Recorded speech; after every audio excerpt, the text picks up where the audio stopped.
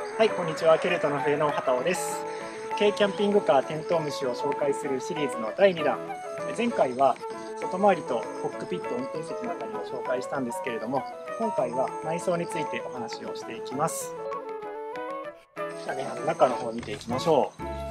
えここドアなんですけれども、ここにフックがあるので、これを引っ掛けておくと強風とかでもドアが勝手に閉まらないようになってます。まあ、ドア閉まって足挟んだりしたら大変ですからね、ここしっかりかけておいてください。では内装なんですけれども、でここにですね、スイッチがあります。6個ボタンがあるんですけど、室内灯1っていうのが、キャビンの全体を上から照らす蛍光色のランプですね。で、次行きましょう。室内灯2っていうのを押すと、これは後ろの方の電球色のライトがつきます。でさらに見ていきましょう。で、これ、えポンプっていうのがあるんですけど、これを押すとですね、シンクのポンプが作動するので、蛇口をひねったら水が吸い上げられて、タンクは10リットルのものなんですけれども、タンクを出してで給水するという形になりますね。はい、ではさらに見ていきましょう。ここ冷蔵庫ですね。冷蔵庫、えースイッチをこうやって入れないと冷えません。よくね、これ、スイッチ入れたけど、メインスイッチを切っていたりすると、結局は冷えてないということになるので、両方のスイッチですね。メインスイッチ入れて、ここ入れないと冷えないということですね。で、この電源に、えーこれはコンセントの電源だと思うんですけど、違ってたらごめんなさい。僕使ったことないです。はい。で、ここ、電源1コンセントっていうね。えこれは、電源の電圧がですね、12V を変換する、100V に変換するものみたいですね。だから、あの、普通の家庭用コンセントと同じ電圧で使いたいと思ったら、これをオンにしてください。はい。というふうに、え電源周りです。じゃあ、夢のキッチン周りを説明していきます。えっと、これ冷蔵庫です。冷蔵庫はこんな感じで、冷蔵庫の強さを調節することができるんですけど、えかなり冷えます。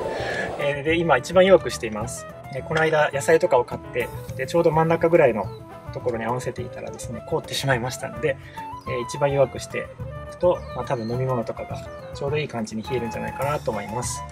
で、ここシンクですね。で、この下に 12V の電源コンセントがあります。これシガーソケットになっているので、まあ、携帯の充電とかはここで取ってください。これタンクを交換するときにですね、えここから取り出します。で、これオプションで、この、えタンクの蓋を外側にもつけるっていうのがあるんですけど、僕はそれはしませんでした。まあ、外側につけとくと、いちいち車内に入ってタンクを足してまた外に外に出てみたいな手間がなくなるんですけど、まあ僕はそこまではま重視しなかったので、えこれは室内で取り替える設計になってます。で、冷蔵庫の強さも、このダイヤルを回すと強さを変えられるんですけど、真ん中にしとくとちょっと冷えすぎたので僕一番弱い設定にしています。で、ここは収納です。でもともと、あの、つけていただいたのはカセットコンロだったんですけど、僕はこんな感じで、キャンプ用品の鍋とか、ボンベとか、まあ、そんなものを収納しています。えじゃあ、室内さらに紹介していきますが、これ窓ですね。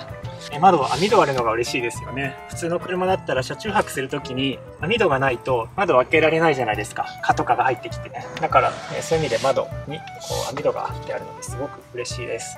で、カーテンオプションでつけることができます。なんか結構キャンピングカーって珍しいので、駐車場でまあ止めていると、中に人がいてもいなくても結構覗き込まれたりするらしくて、まあ、ちょっとね、そういう、えーリスクもあるので、カーテンつけといた方がいいかなと思います。まあ、防犯のためにもね、あるといいなと思います。